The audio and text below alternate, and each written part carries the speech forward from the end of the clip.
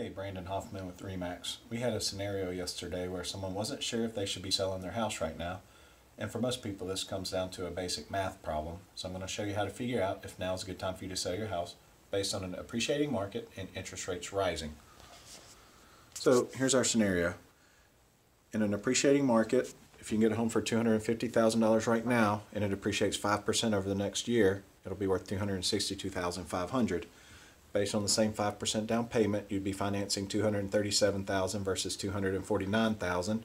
And assuming the interest rate goes up one point, four and a half versus five and a half, which is perfectly possible since they've gone up three quarters of a point in the last six months, that would be a difference in your principal and interest payment of just over 1200 and just over $1,400 a month.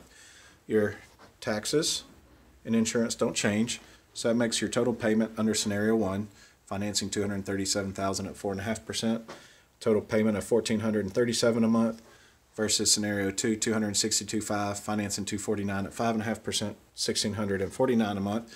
So that's a difference, 1649 minus 1437 of $212 a month. Most people live in a home for seven years, so that is 84 months. 84 times 212 gives me $17,808. So that same house will cost them $18,000 more in mortgage payments over seven years.